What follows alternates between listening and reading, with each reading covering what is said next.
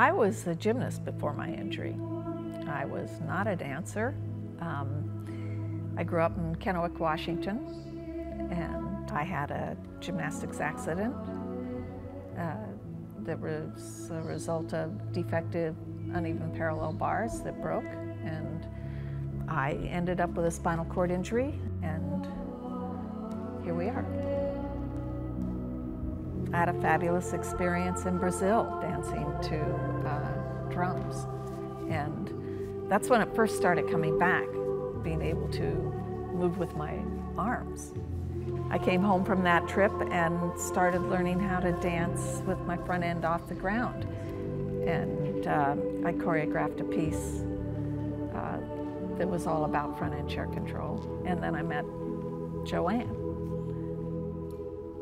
So fluid instantly with Joanne. There was something about our connection with each other, the way it just flowed back and forth. We didn't have to do a lot of struggling mm to find how does it work? How is it going to happen?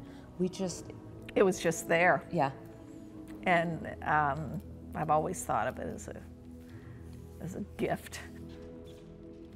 I was at school in Salt Lake City, and there was someone there who was doing work with um, people who did use wheelchairs. It was very different than what Shar and I do. But that was kind of a, a planted a seed for me.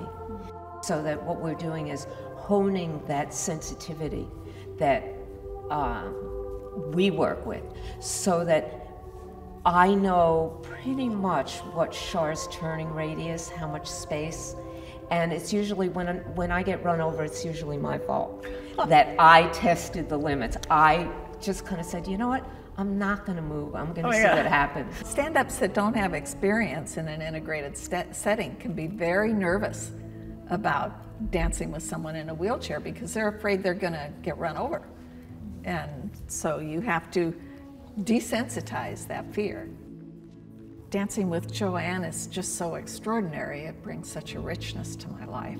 And I lost a couple of years um, during the time period when I was having multiple surgeries, and uh, I really missed it.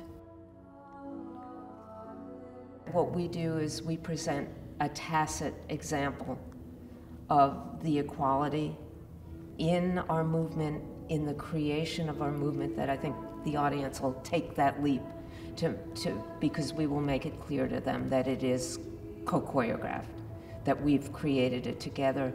And so there's that tacit sense of equality and the message of everybody has a dance in them. When I went to Brazil and I was with all these Brazilians playing drums, the more I got involved with the movement, you know, the bigger and stronger I felt. And, and it was at that moment at the top of this hillside um, with all these Brazilian drummers that, that, that little light of dance came back and it added everything.